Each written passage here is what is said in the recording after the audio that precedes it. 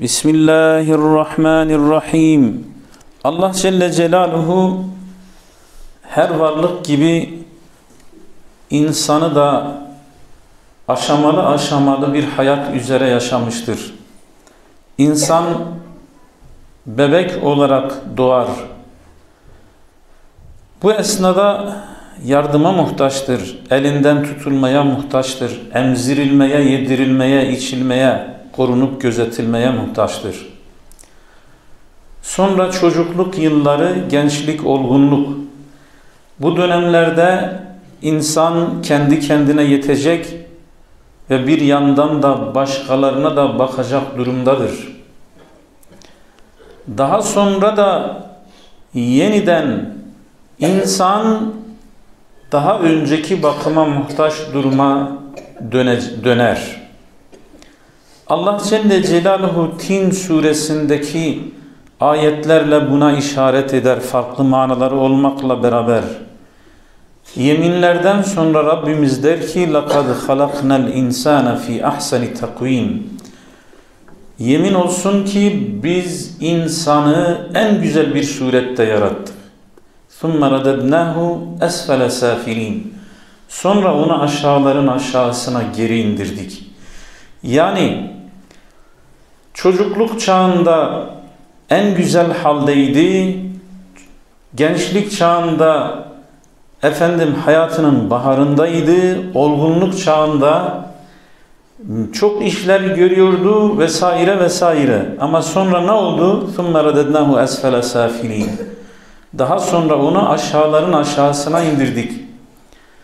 Bu aşağıların aşağısı manevi olarak insanın Allah'a kulluğu terk etmesi sebebiyle fıska, fucura, küfre, şirke düşmesi sebebiyle manevi aşağılık manasına geldiği gibi fiziki aşağılık yani yeniden zayıf hale geldi, tahammül edemez hale geldi, merdivenleri çıkamaz hale geldi, işte yemek yiyemez hale geldi, başkasının elleri titriyor, kaşığı e, e, ağzına götüremiyor, bir bardak çayı içemiyor, birilerinin yardımına muhtaç. Bebek iken nasıl ki birilerinin kendisinin ağzına mama koymasına muhtaç hale gelmişse sonra yeniden o ihtiyaç haline gelmiş.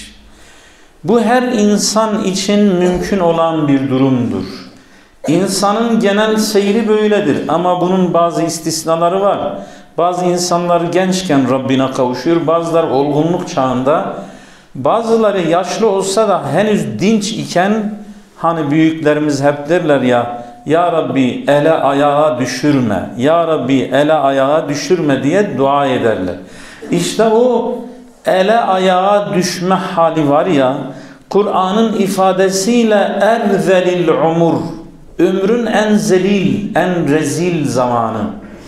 Çok af buyurun, insanın altından alındığı zaman, yatağa mahkum olduğu zaman, ona buna yük olduğu zaman, kendisinin ciğerpareleri yıllarca kendilerine hammallık yaptığı, sırtında taşıdığı oğullarının, kızlarının kendisinden ikrah ettiği, kendisine hizmeti çok gördüğü, şu adam ölse de kurtulsak dediği bir zaman, tırnak içinde söylüyorum bütün bunları. Yani işte kardeşlerim, her birimiz için böyle bir durum olabilir. İşte Efendimiz Aleyhisselam diyor ki, kim bir yaşlıya yardımcı olur, bakımını üstlenirse o da yaşlandığı zaman Allah ona yardımcılar, Allah onu üstlenecek birilerini onun için müheyya kılar buyurmaktadır. Evet, kim bir insana hani hadiste Efendimiz Aleyhisselatü Vesselam diyor ki İrhamu men fil ardi yerhamkum men fis sema.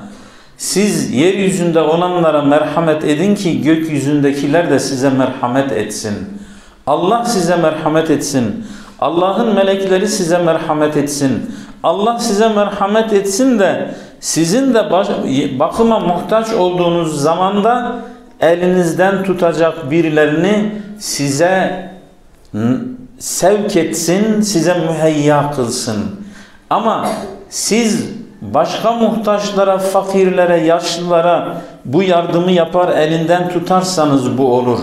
Ama aksini yaparsanız biraz önce bahsettiğimiz batasıca batının yaşlıları sırtta kambur maddi olarak üzerlerinde yük gördükleri gibi yük görürsek bunlardan nasıl kurtulabiliriz diye çareler ar ararsak o zaman insanlar da bizden kurtulmak için çare ararlar.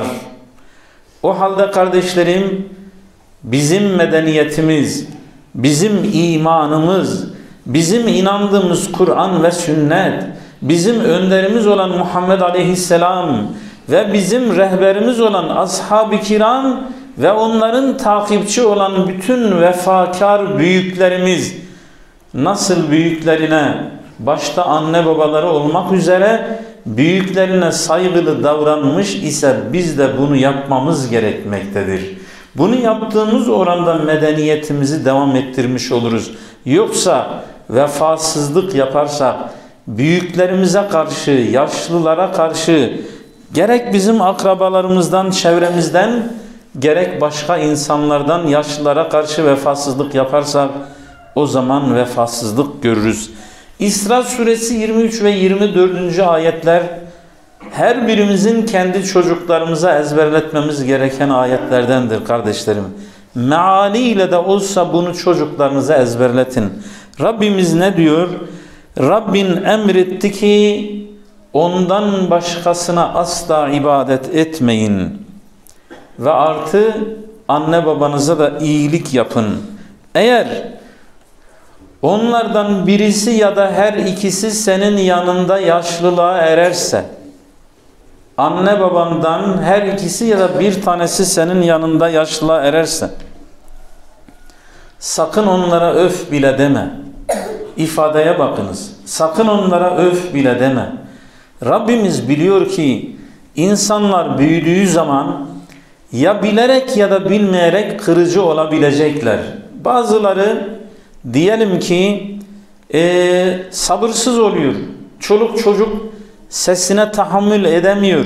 Ya da biraz önce bahsettiğimiz Alzheimer ve benzer hastalıklar sebebiyle e, çayını döküyor, suyunu döküyor.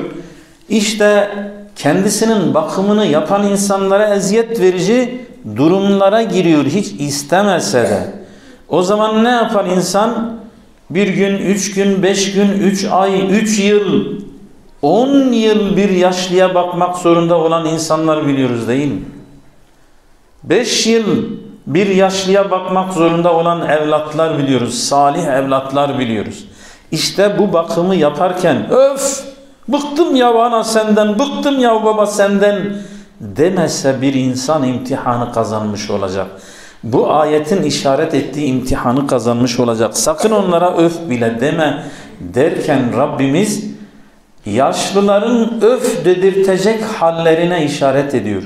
Diyor ki onlar erzelil umre vardıkları zaman öf dedirtecek davranışları olacak. Çocuksu davranışları olacak. İşte olur olmaz mızmızlanacaklar, şöyle yapacaklar, bahane arayacaklar vesaire olacak. Baş üstüne baba, baş üstüne ana. Tabii ki, tabii ki başım üstüne diyeceğiz ama biz yine doğru olanı yapacağız. Fakat onlara karşı kırıcı davranmayacağız. Ve onları sakın itip kalkma. Ve onlara kibar konuş. Allah diyor ki kul lehuma kavlen kerima.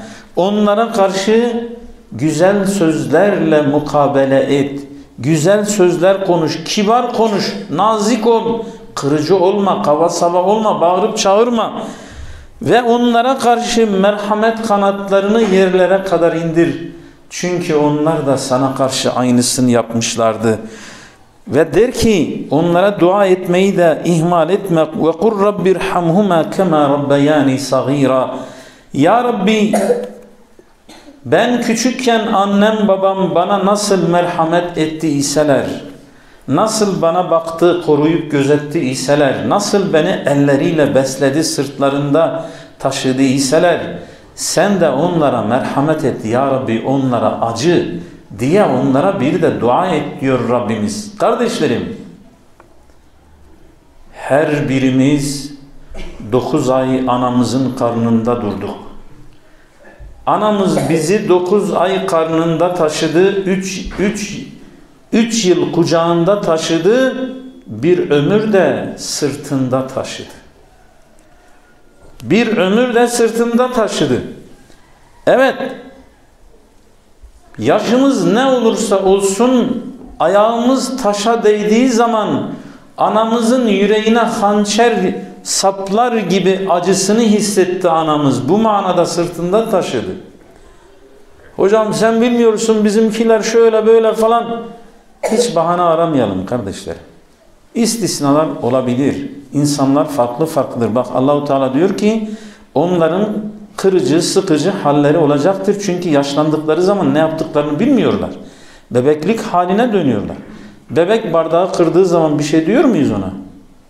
Bebek altını ıslattığı zaman bir şey diyor muyuz ona? Ama babamız altını ıslattığı zaman bebekleşmiş ise tutamıyor. Bebeğe bir şey demiyoruz ama anamıza babamıza kıyamet koparıyoruz. Hayır. Bunu yapmayacağız.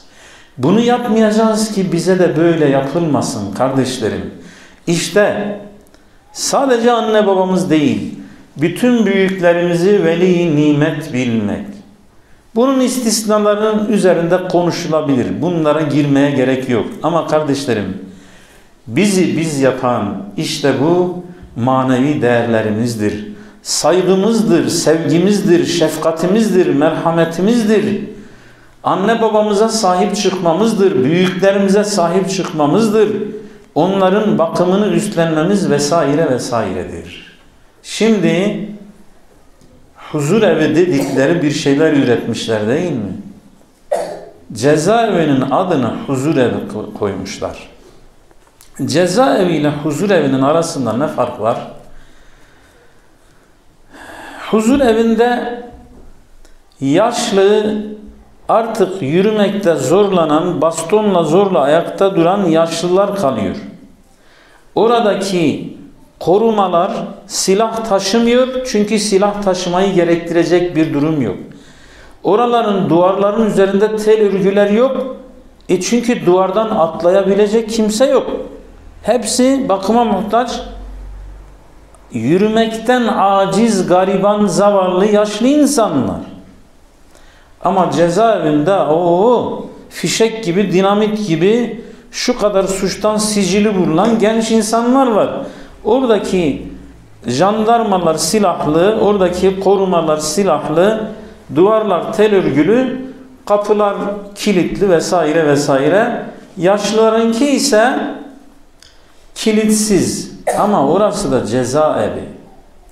Bir anne baba kendi çocuğu işten geç geldiği zaman bir saat, yarım saat kulağı kapıda, gözü pencerenin camında Ahmet'ime acaba bir şey oldu mu? Bizim Hasan bu gece yine geç kaldı. Acaba niye geç kaldı? Baba anaya soruyor, ana babaya soruyor. Bizim bu oğlan niye bugün yine geç kaldı? Ana da babaya soruyor. Bizim bu oğlan niye geç kaldı?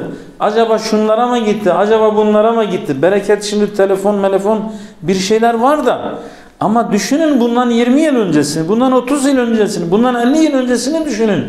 Bir anne babanın huzur bulacağı yer çocuklarının yanıdır. Adına huzur evi koyduğumuz cezaevleri anne babanın huzurunu getirmez. Siz onları kuş tüyü yataklarda da yatırsanız onları balla kaymakla besleseniz de orada huzurlu olmazlar. Çünkü onlar Oradayken bile acaba Ahmet'ime ne oldu? Acaba Muhammed'in bugün eve geç geldi mi gitmedi mi? Oğlum şoför Irak'a gidip geliyor. Acaba kaza yaptı mı yapmadı mı diye düşünüyordur o. Huzur bulamaz. Yani kardeşlerim işte bu batı kültürünün bize getirdiği yer budur. Adam batıda adam af buyurun kendi köpeğini yatak odasında besliyor kendi masasında bir kaşık köpeğe veriyor, bir kaşık kendi ağzına alıyor. Ama babasıyla aynı tabaktan yemek yemiyor. Ama anasıyla aynı tabaktan yemek yemiyor. Zaten artık babada, batıda anne baba beraberliği diye bir şey yok ki. Bu konuda söyleyecek o kadar çok şey var ki Bir tane yine cemaatimden bir genç anlatıyor. Diyor ki benim yaşlım, benim diyor bitişimde 65 yaşında yaşlı bir tane Hristiyan teyze var. Bazen giderim selam veririm. Bir fatura matura işi var mı? Bir ihtiyacı var mı? Giderken bazen yanımda bir çikolata, birkaç tane meyve götürürüm. Beni sever ve ellerime sarılır ne olur ben sana evlatlık alayım. Benim evladım ol. Niye teyze? Çünkü diyor büyük oğlumu görmeyeli 35 yıl oldu. Büyük oğlumu görmeyeli 35 yıl oldu. Küçük oğlumu görmeyeli de 20 yıl 27 yıl oldu. Ama ben yine de küçük oğlumu çok seviyorum. Çünkü hastanede ameliyat olduğunda bir defa benim ziyaretime geldi onun için. Yani kardeşler Batı'da bugün bir çocuk değil 18 yaşına da 16 yaşına, yaşına geldiği zaman vahşi kartallar misali yuvadan uçuyor ve bir daha dönmüyor. Ve bu asla yadırganmıyor, ayıplanmıyor. Orada işler böyle yürüyor. 18 yaşına gelen bir çocuğu ne annesi ne babası evinde tutamaz. Kanunen onun hakkıdır istediği yere gidebilir, istediğiyle yatar, istediğiyle kalkar. Hiç kimseden neden böyle yaptın diyemez. İşte öyle bir hale getirdiler ki artık işi LGBT'ye de getirdiler. Bu işlere çok fazla girmek istemiyorum. Kardeşlerim, yahu bu kültür bize göre değil. Bunu bize muasır medeniyet diye yutturmayın lütfen. Batı hiçbir zaman medeni olmamıştır ki bir de muasır medeniyet olsun. Evlat ebeveyn ilişkisi diye bir şey yoktur.